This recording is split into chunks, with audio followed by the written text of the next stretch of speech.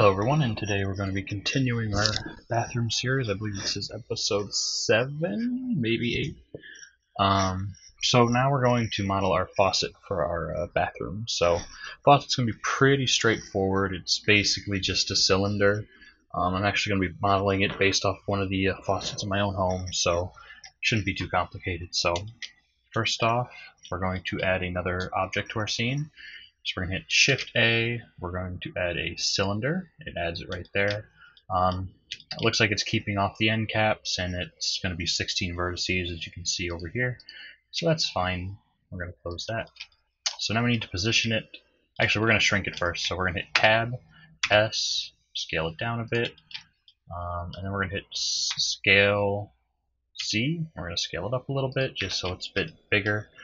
And we're going to move it over there to the uh, table. So we're going to click the red dot. This should have this by now.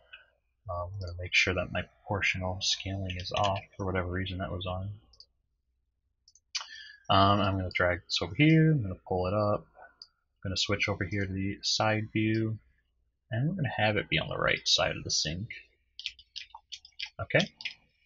Um, I still think that's a little too big, so I'm going to tab into edit mode. I'm going to hit S, I'm going to hit X, and I'm going to hit Shift Z so that we're just we're scaling without the z-axis. That looks fine. Um, I'm going to hit tab to get out of edit mode and I'm going to move it over. I'm going to have it right here. That looks fine. Maybe we should move the bowl up a little bit. There we go. I think that looks fine. So now see, how should we go at this? Um, if we were to model like the one in my personal bathroom, that might look a little strange. Um, we'll model it a little bit, little, diff little bit differently, so we'll introduce some new tools. So what I want to do is I want to kind of spin it into a bowl into kind of a candy cane shape. So what we're going to do is we're going to hit 5 on our numpad, or you can uh, click this little grid up here, and we're going to switch into orthographic. So we were normally in perspective, so you can see the perspective of everything, but when we're in orthographic, it looks a lot more blocky, and uh, it's basically just without the perspective, so it's easier to see things. So what we're going to do is we're going to hit Tab, and we're going to zoom in a bit, and we're going to hit Alt-A to deselect everything, and we're going to Alt-click this ring of loop, ring, ring of edges up here, make sure we're in edge select mode. Um, and what we're going to do is we're going to kind of angle it so that um, basically we're going to use the spin tool, which is going to spin this edge like this. So what we need to do is we kind of need to line up the camera to like there being a plane that's slicing um, this bowl in half. It's, it's kind of hard to explain, but you should be able to see what I'm poking at in a sec. So now that I'm kind of like lined up to the corner of the table like this, what I'm going to do is I'm going to go into a 3D cursor mode, and I'm just going to click right about here. So basically I moved that 3D cursor, you can kind of see it. It's a bit over there, but that should be fine. Uh, but as long as it's right about there above the sink, um, let's actually move it a little bit right here. And I'm going to have to tinker with this because I can't quite remember how it um, works. But uh, it's okay. So, I believe spin might have been moved, so I'm going to double check real quick. Um, now you see in this case I can't actually find the spin tool. It used to be on the left. Um, but that's, oh yeah, there it is, so spin. So watch, so now that our 3D cursor is right there, we're going to kind of imagine it spinning around like this. So I might have to move the 3D cursor, but what we're going to do is we're going to hit this spin tool right here, and you can see this pops up. This is a bit new. Um, yeah, yeah, that's a little bit um, wrong, but you can see how it's where the 3D cursor is. So I'm gonna hit Alt or Control Z to undo that. Um, I'm gonna hit Control Z again, and so we're still in the spin mode. So what we need to do is we need to go back to the 3D cursor mode, and I'm gonna click Maybe we should click on the bowl right there. That might help. Um, and we're going to go back into the spin mode. Now, I think what we need to do is, um, let's see here. Let me just kind of tweak this a little bit more. Okay, I think we just need to uh, rotate it. So we're going to click, we're going to go back in this perspective and we're going to click. And then we're going to click on, we're going to make sure those uh, faces are all selected. So Alt click. And actually, that looks like it's in a much better spot. So now we're going to click the spin tool. And if we go over here, we can actually change the way it spins. So clicking on this tool right here while we have spin active, we can change which axis it goes around, which this is what I was looking for. So we want it to go around, I believe, the x-axis might work. And we can always rotate it. So if you look, so the 3D cursor is right there, and we set it to x-axis spin. So when we drag it, you can see there's that spinning motion. So now it looks like a candy cane, kind of. That actually looks perfect. So I'm just going to leave it like that. When, when you're done with it, you should be able to just click off of it, and it will apply the transformation. So you can see we kind of have this candy cape like candy cane like structure.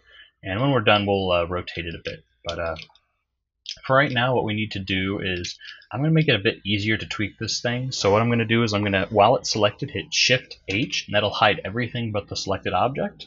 And I'm going to hit period on my numpad to focus on it.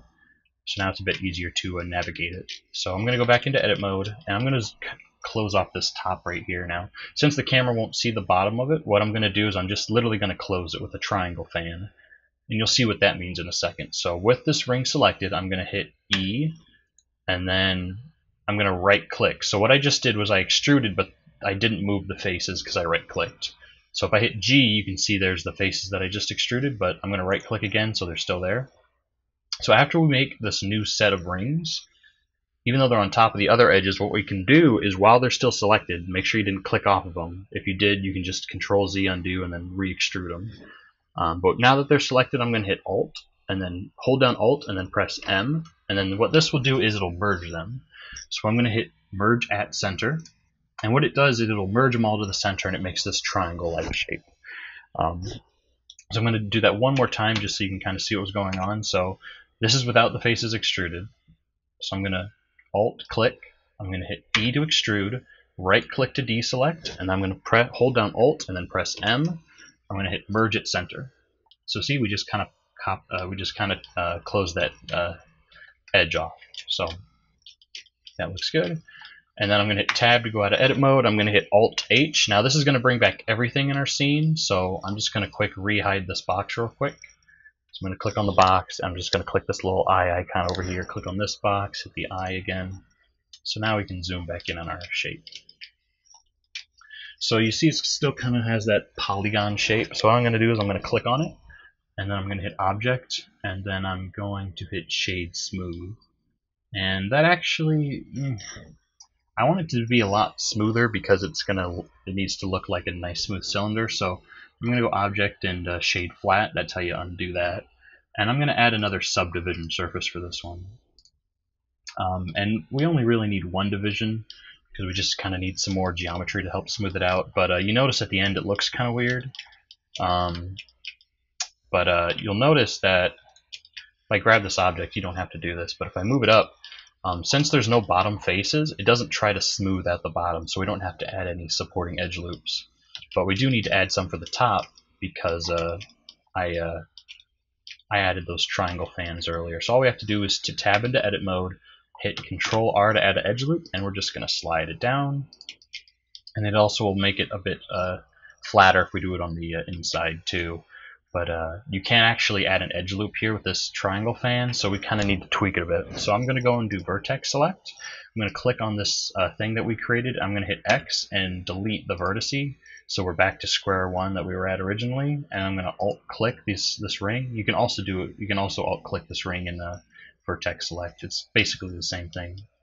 I'm going to hit E, and then I'm going to uh, click. I'm going to right click, and then I'm just going to scale it in a bit, and then so, so you see there's our supporting edge. So then I'm going to hit E one more time, and then I'm going to hit Alt M and then merge at center. And you see we created that supporting loop. So now it looks a lot uh, flatter there. And then I'm just going to go Object, um, Shade Smooth, and then that looks a lot better. And um, like I said, this is just fake geometry. So if we wanted to make it smoother, we can uh, bump it up right here. And actually, if you look under render, it's already shaded up to 2, so we actually don't even need to really worry about it because it'll be a higher res in our render anyway. So I'm just going to Control S real quick to save the scene.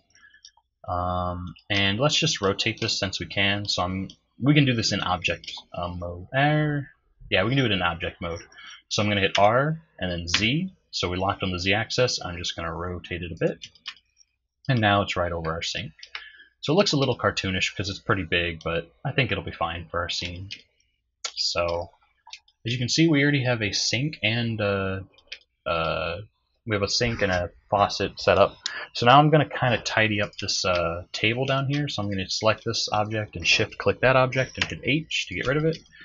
And then for this one, we kind of want to um, make all these edges a bit smoother. So we can do that quickly with uh, one simple tool or one simple modifier. So I'm going to go over to the modifier tab. I'm going to click to add a modifier. And what I'm going to do is I'm going to add a bevel modifier. And you'll see it adds, it's add, it kind of adds some weird uh, new edges on everything. But uh, we, we actually only wanted to add um, bevels on like those really sharp edges. So what we can do is we can go to limit method or yeah, limit method, and we're going to select angle, and then we're going to leave it at 30. So I believe with this one, it's any angle that's more than 30 it'll try to apply a bevel to. I'm not too sure, but uh, basically we could tweak it if we had to. Um, it should be fine with 30 though, because we have really sharp edges on this one. We don't have to like worry about it. If we had like 30 degree edges that we wanted to be sharp or less, you know, we could fix it that way. But Anyways, that's fine. And then now what we want to do is we want to uh, bump up the segments. So if I go into wireframe, you might be able to see it. So see, we only added one one uh, extra face with the bevel modifier. But if we add another segment, you'll see we add another piece of geometry there. So we're going to want to bump it up to 3. So you can see how there's more uh, geometry on those edges. And if I go back, hit Z, hit solid, um, you can see that it looks a lot better. And when we go and the reason we did this is because if I turn off the bevel modifier real quick, one, it's infinitely sharp, and two, if we go to uh, shade smooth, see how like glitchy and broken it looks? It's because it's trying to average 90 degree angles, um, which isn't good because it's hard to make something like that look smooth. You'll see all that weird shading stuff. But I turn on, if I turn on the bevel modifier, you'll see it looks really nice. It does look a little smooth, a little too smooth on the edges, but what we can do is we can go over to the width right here, and if we hold down shift and then slide this, we can actually uh, shrink these uh, edges. So you see if I set, um, on, let me see here real quick. Um, yeah, so you see, um, if I really start uh, rotating it, we can see this is no bevel, and then you can change the width. So we're just going to give it a slight bevel, about 2.005 feet. Um, and if you wanted to make it even more beveled, you can turn off clamp override, and then you can see you can make it really beveled, but obviously the reason the clamp override is there is so you don't get this weird geometry. You see when we turn this on, it won't let the bevel modifier mess with that. So um, usually you don't want to do such a big bevel modifier to many little objects altogether, but in this case, since most of them are flat and we just want to add a slight bevel, it's okay. So I'm going to lower this bevel width again, and that should be fine. So you can see how much better that looks if I, if I again switch between them. It looks a lot better because obviously in, in real life nothing is infinitely sharp like that. So we're just going to leave that there. We don't actually have to apply that. So you can see we can keep the simple geometry while making it look really nice. So that looks good.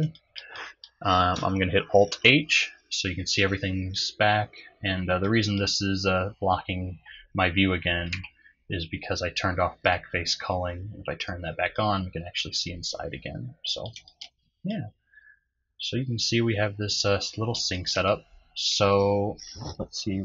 Yep, we're about at the 15 minute mark. So that's it for this video. And the next one, uh, we're going to be making a bathtub, and I'm going to be making that a lot quicker than I did with the sink since it's basically the same process. I might actually be able to borrow the sink. Um, and we're also going to add windows, and if we have time, we'll try to add lighting. So thanks for watching. That's it for this video. Um, and if you have any comments, please leave them below. Have a good one.